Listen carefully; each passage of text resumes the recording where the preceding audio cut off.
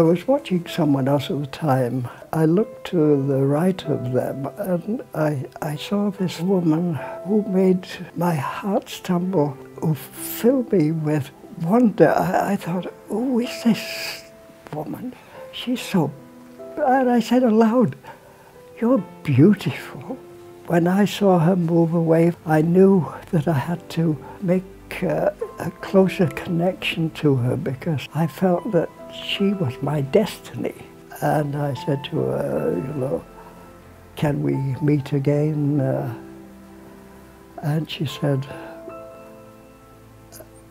yes, uh, I think maybe uh, I can trust you.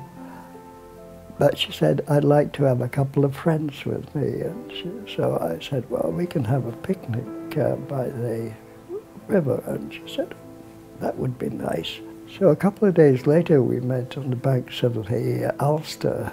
I, I, I guess maybe she didn't expect that I would be uh, so enamored that I would wait as long as I did, you know, and still continue to, uh, to be kind and decent, you know.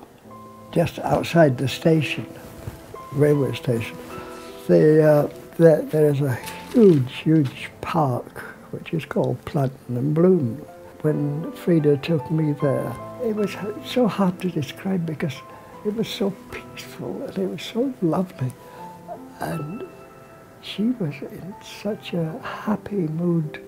She knew by that time that I was not going to change, that my love for her was sincere, that uh, we would be a couple I think she knew also for the rest of our lives. I felt like a king when I was with her. I felt like a movie star because I felt that she was so beautiful. With her on my arm, my future was assured. I felt that I could not go wrong.